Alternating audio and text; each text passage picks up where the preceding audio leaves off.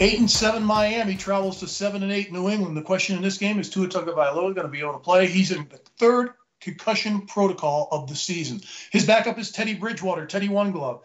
If Teddy Bridgewater plays this game and starts this game, I still think Miami has a chance.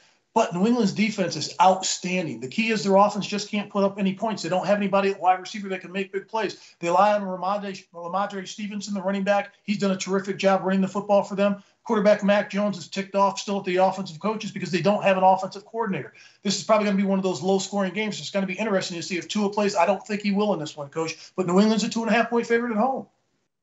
Uh, it's amazing. Uh, you know, let's remember New England beat them earlier in the year. I, think that New England has played better than I anticipated, Mark. Their defense has been outstanding. And you mentioned they don't have an offensive coordinator. They don't have any direction on offense. They have no real leadership, so to speak, from my point of view. And I don't think Jones can lead them to victory under that.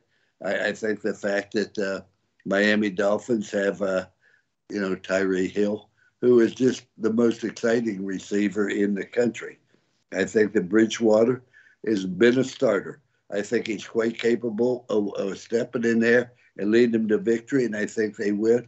The Dolphins win this game 31 27, and I think that uh, I've been surprised, no doubt, with the Patriots.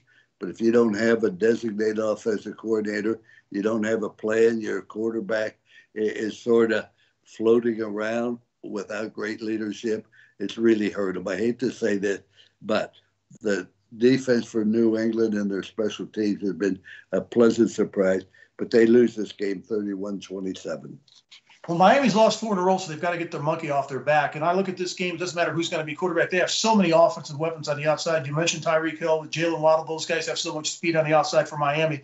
I think that's going to be a big problem for this New England defense. But I think the key for Miami is they ran the ball effectively against Green Bay when they wanted to. They did against Buffalo when they wanted to, but they just pulled back from the running game. If they continue to stick with the run with Teddy Bridgewater in this game and take their shots deep in this game with their wide receivers on the outside, I think Miami finds a way to win this game. It ends up being nine and seven going into the last weekend of the season. Take Miami in the two and a half. I got Miami winning this game 26 to 21.